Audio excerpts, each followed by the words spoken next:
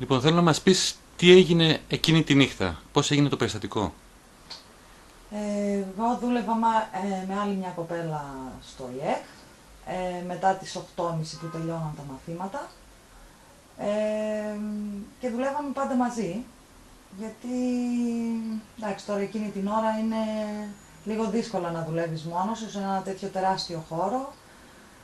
Ε, φύλακες δεν υπήρχαν, πόρτες ήταν ανοιχτές, οπότε ήταν λογικό σε οποιαδήποτε αίθουσα πηγαίναμε μαζί. Ε, βρεθήκαμε στα εργαστήρια γύρω στις 9.30. Μπήκαμε στην ίδια αίθουσα, ε, συγκεκριμένα στο εργαστήριο πληροφορικής. Ε, και βγήκα κάποια στιγμή έξω στο διάδρομο, που είναι τα εργαστήρια, για να πετάξω κάποια σκουπίδια. Ε, εκείνη την ώρα είδα κάποιον να μπαίνει από το διάδρομο ε, και έκατσα και τον κοίταξα γιατί φαντάστηκα ότι ίσως είναι κάποιος μαθητής ε, του ΙΕΚ που ξέχασε κάτι. Ε, εκείνος φάνηκε όταν ήρθε και τον είδα ότι σαν να τρόμαξε, δηλαδή σαν να τον δεν περίμενε να με βρει εκεί ε, και ήρθε προς τα πάνω μου. Με, δεν ξέρω αν είπε κάτι δεν είπε, εκείνη την ώρα και εγώ τα χάσα λίγο έτσι που τον είδαμε, τα μάτια κάπως ε, γουρλωμένα.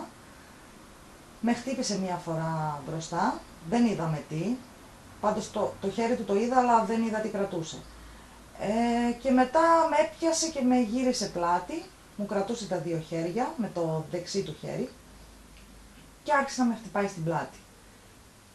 Πόσα, Και πόσα χτυπήματα; Ένα το πρώτο μπροστά και στην πλάτη άλλα έξι.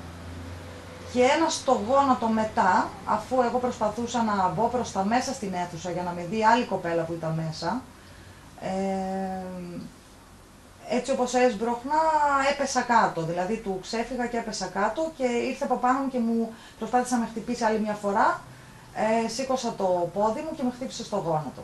Δηλαδή, εν, ενώ ήσουν κάτω, δηλαδή προσπαθούσε Ε, ακόμα ναι, να σε χτυπήσει. Ναι, ήμουνα κάτω, είχα πέσει κάτω. Ε, εκείνη τη στιγμή γύρισε και η κοπέλα η άλλη, η οποία ήταν πλάτη και νομίζω φορούσε και τα ακουστικά και άκουγε μουσική, γι' αυτό και δεν άκουσε που φώναζα εγώ. Ε, τον είδε, άρχισε να, το, να του φωνάζει και αυτός έφυγε. Ε, εγώ σηκώθηκα αμέσως ε, για να τον κυνηγήσω, αλλά δυστυχώς επειδή είχα χτύπημα στο πνευμόνι και από ό,τι έμαθα μετά δύο αγία μου κατέστρεψε, ε, έπεσα στα σκαλιά. Και δεν πρόλαβα φυσικά να τον κυνηγήσω. Και μετά η άλλη κοπέλα ειδοποίησε την αστυνομία και αυτοί ειδοποίησαν το ΕΚΑΒ. Μμμ. Για ποιο λόγο έγινε αυτό το περιστατικό τώρα, κάτω από ποιες συνθήκες; Ε, για ποιο λόγο; Το σχολείο γενικά είχε μια τέτοια ιστορία. Βέβαια, εγώ τα έμαθα μετά. Ε, όταν ε, σε ένα τόσο μεγάλο χώρο είναι όλες οι πόρτες ανοιχτές, φύλαξη δεν υπάρχει.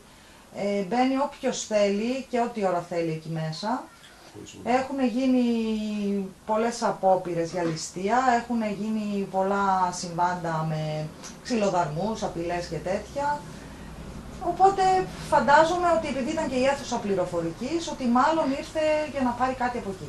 Εσύ είχες τα κλειδιά από τις Εγώ είχα αίθουσες. τα κλειδιά, ναι, και από τα γραφεία, από παντού. Με την ε, συνάδελφό σου για ποιο λόγο πηγαίνατε μαζί, επειδή φοβόσασταν; Ναι, ναι, γιατί όλα ήταν ε, σκοτεινά. Είναι ένας τεράστιος χώρος. Φεύγαμε από το ένα κτίριο, πηγαίναμε στο άλλο. Ε, έπρεπε να είμαστε μαζί. Δηλαδή δεν γινόταν ε, χωρίς κανέναν ε, τριγύρω μα. Όλοι είχαν σχολάσει. Φύλακες ε, πηγαίναν μετά τις 11. Ε, οπότε έπρεπε να πηγαίνουμε μαζί. Ο φωτισμός τώρα δεν έχουν παρατηρήσει υπεύθυνοι ότι δεν έχει φώτα στην περιοχή; Ε, σίγουρα το έχουν παρατηρήσει. Εμείς από τον καιρό που πήγαμε ε, έχουμε κάνει παρατηρήσεις ε, για καμένες λάμπες και όλα αυτά και συγκεκριμένα τα άλλαξε καθηγητής. Δηλαδή δεν ενδιαφέρθηκε κάποιος ανώτερος να, τα, να λύσει αυτά τα προβλήματα. Πάντα εμείς κάναμε παρατηρήσεις. Υπήρχε φύλακας όταν έγινε το περιστατικό; Όχι, όχι. Ο φύλακας ερχόταν 11 η ώρα. Πάντα. Από τις 11 μέχρι τις 7 το πρωί. Δηλαδή 10 παρά το βράδυ δεν είχε όχι, κανέναν; όχι, τίποτα. τίποτα. Και οι πόρτες Οι στο πόρτες συγκρότημα; όλες ανοιχτές, όλες. Και δεν είχαμε και κλειδιά και εμείς για να τις κλείσουμε, δεν μας είχαν δώσει. Εγώ είχα κλειδί από μία μικρή πόρτα, ε, την οποία πάλι σχολώντας εγώ το βράδυ έπρεπε να δω αν στο γυμναστήριο υπάρχει κόσμος ε, και αν έβλεπα φώτα δεν μπορούσα να την κλείσω ούτε εκείνη. Τώρα, Οπότε έμενε και εκείνη ανοιχτή. ε, τώρα είσαι σαν αναρωτική. Θα μπορέσεις Τώρα- να ξαναεπιστρέψεις στη δουλειά; Με τίποτα. Δεν, δεν μπορώ ακόμα ούτε σωματικά ε, και φυσικά ψυχολογικά. Γιατί έχω μεγάλο θέμα από τότε που έγινε όλο αυτό. Έχω αλλάξει, είμαι μέρα με τη νύχτα. Δεν, ε, δηλαδή τότε σχολούσα και έφευγα μόνη μου και 12 η ώρα το βράδυ και δεν φοβόμουν τίποτα και τώρα φοβάμαι ακόμα και μέρα να κυκλοφορήσω. Ε, βγαίνω πάντα με συνοδεία. Τι θα γίνει τώρα, δηλαδή, ε, μια εργαζόμενη με τι μισθό. Ε, με 345 ευρώ.